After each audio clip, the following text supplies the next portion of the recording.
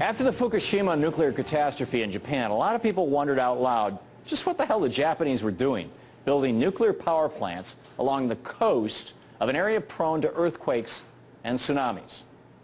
It's as though they were just asking for this to happen. Who could have been so stupid? Surely here in the United States, we're a lot more careful with where we build our nuclear power plants, right? Well, no. This is the Fort Calhoun nuclear plant, just outside Nebraska, just outside Omaha, and no, uh, in Nebraska. And no, it's not supposed to be completely surrounded by water. But I suppose that's what happens when you build a nuclear plant right in the middle of the floodplain of the Missouri River. Floodwaters from the rising Missouri River have settled at a foot and a half above where the plant sits. And the only thing stopping Fort Calhoun from flooding, just like Fukushima flooded, is a six-foot-high rubber wall surrounding the plant. But that's not the only nuclear power plant in danger. Just down the river in southeast Nebraska, the Cooper nuclear plant is also on the verge of flooding out. That plant sits at 903 feet above sea level, but on Sunday, floodwaters from the Missouri River peaked at 900 and a half feet, meaning just two and a half feet stood between Nebraska and a Fukushima-like disaster. So yeah, we almost lost Nebraska over the weekend, and yet no one seems to know about it. Back on June 7th, when the floodwaters first started threatening the Fort Calhoun plant, the Nuclear Regulatory Commission received a notification of an unusual event, the lowest level warning on the NRC's four-stage disaster classification system. No big deal, they said. Keep moving. No droids in this car. But it does seem a little odd that since June 6th, the FAA has been enforcing a no-fly zone above the crippled plant.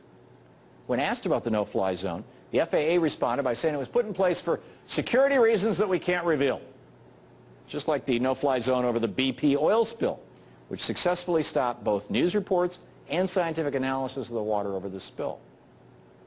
You know, whatever's going on in Nebraska, this is a warning that Fukushima could happen here in the United States with very little warning.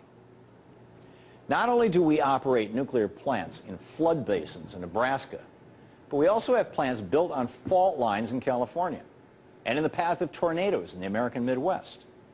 And for those who are more superstitious, there's the Diablo Canyon power plant in California it's not only named after the devil, but it also sits on top of an Indian burial ground. So is it really that our nation's nuclear plants are more secure than Japan? Or are we just, so far, really, really lucky? Frankly, I think it's time to stop rolling the dice with nuclear power. In the last decade, Germany built the equivalent of 10 nuclear power plants by putting solar panels on the roofs of hundreds of thousands of homes. And with that renewable power, Germany has announced that they will completely close down every single nuclear plant in their nation. Just last week, voters in Italy took to the polls to reject by a 95% to 5% margin a plan to build nuclear power plants in that nation. And in Denmark, a country that as far back as 1988 banned the construction of nuclear power after Chernobyl, more than 20% of their electricity is generated through wind power. And within a decade, that'll be a half, 50%. Japan has just announced that they're ditching nuclear power. Fairly obvious reasons. The Swiss have announced no, new, no more new nukes. Even China has suspended the construction of all new nuclear power plants there. But here in the United States, we're building rubber walls around our submerged nuclear plants and just praying that the waters don't keep rising. And in an environment that's growing increasingly volatile, with more flooding and more tornadoes thanks to global climate change, that strategy is almost certainly destined for failure. It's time to ditch nuclear power here in the United States. Look at what's going on in Nebraska right this very minute. And let's hope we're not too late. At the Fukushima Daiichi nuclear plant, tests have resumed on a filtering system for decontaminating radioactive wastewater. Meanwhile, with levels of contaminated water continuing to rise inside the plant compound, the operator has instead decided to reduce the amount of water it's pumping into the reactors. Tokyo Electric Power Company first tried running the decontamination system last Friday, but was forced to halt it after only five hours due to a sharp rise in radiation levels around the U.S.-made equipment for absorbing, absorbing radioactivity. On Tuesday, TEPCO began a test run before dawn, but halted it at around 7.20 a.m. after a pump that sent water into French-made decontamination equipment shut down automatically. After adjusting the amount of water being pumped, TEPCO resumed the test shortly after midday. It plans to continue testing the system for two or three days before resuming full-scale filtering operations. There is concern that temporary storage facilities for radioactive wastewater at the plant will overflow in about a week. On Tuesday, TEPCO began reducing the amount of water it's pumping into three of the reactors, while carefully monitoring them for any resulting rise in temperature. The utility is also considering contingency plans to transfer the highly radioactive wastewater to tanks intended for filtered wastewater.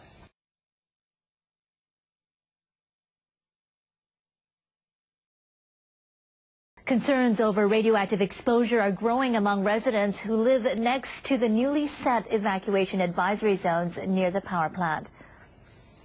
The people live just outside specific spots in Date and Minamisoma cities that the government last week designated for voluntary evacuation. Accumulated radiation levels in these spots are expected to exceed the threshold of 20 millisieverts a year.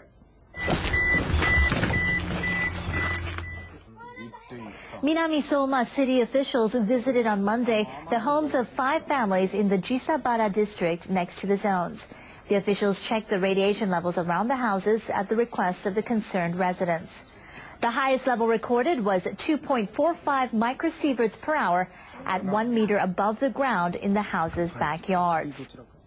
外で遊べてますか遊んでないです放射能があるから内部被曝するからここからもっと低いところに避難させてほしい本当に子供だけです Minamisoma City says it will consult with the central government about the findings. The Japanese government plans to issue a massive amount of special bonds to help Tokyo Electric Power Company compensate victims of the Fukushima nuclear accident. On June 14th, the cabinet approved a bill to help TEPCO pay compensation for nuclear-related damage. It later submitted the bill to the current session of the Diet. The legislation calls for the establishment of a new body to boost TEPCO's capital and extend loans to the utility. The necessary funds will be raised by issuing special bonds. The government will make arrangements to include special bonds worth 1 trillion yen, or $12.4 billion, in the second supplementary budget for the current fiscal year. The government also says TEPCO would repay the loans using its annual profits in an effort to minimize the burden on the public. But the opposition is objecting to the compensation framework. Member states of the International Atomic Energy Agency have agreed on the need for emergency inspections of nuclear reactors around the world. The agreement came on Tuesday, the second day of the IAEA's ministerial meeting in Vienna. A working session was held to discuss nuclear safety based on the lessons from the accident at the Fukushima Daiichi power plant. Some delegates said it's not appropriate to study universal safety measures based on the Fukushima disaster. They said the accident was a special case as the plant was hit by tsunami more than double the predicted height.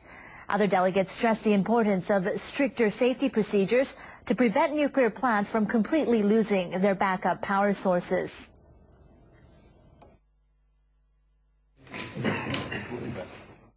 And we will get to Friday, and then we will come out with uh, conclusions, and we look forward to a concrete uh, action plan for the future as to how we can uh, take these lessons forward and implement them on a global way.